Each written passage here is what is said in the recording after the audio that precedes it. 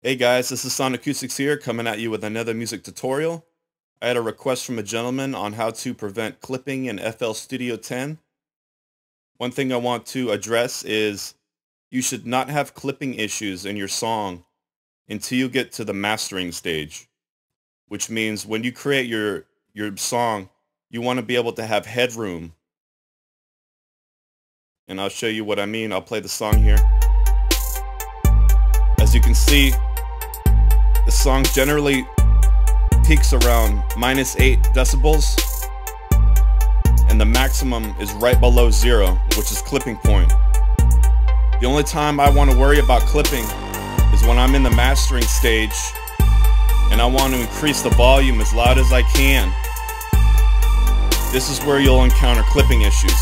I'll give you an example. I'll go ahead and just raise the volume meter on my master you can see some clipping occurring. I'll go ahead and I'll bring it back down.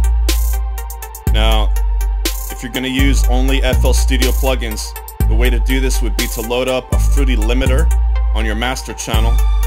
We'll go ahead and do that. Now, a Fruity limiter basically does what it says. It limits your audio. You have two main controls here that we're going to be using in this process.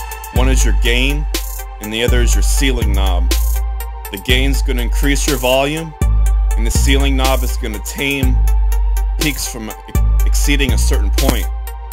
So right now, we're going to try to increase the volume without preventing clipping. And the way to do this is we're going to boost both these knobs up in small increments. We're to keep nudging it up until we start redlining. We want to make sure that both these knobs are at the same point while we're doing this process. Boost it up a little more. Okay, right now we're redlining. If you look over here on this meter, peaks are exceeding the zero mark.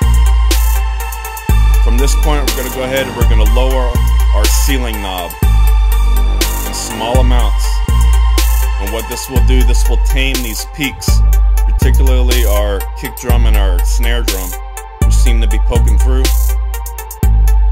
We're gonna lower this down very slowly while keeping an eye right here. As soon as these peaks drop right below that zero mark, we should have no clipping.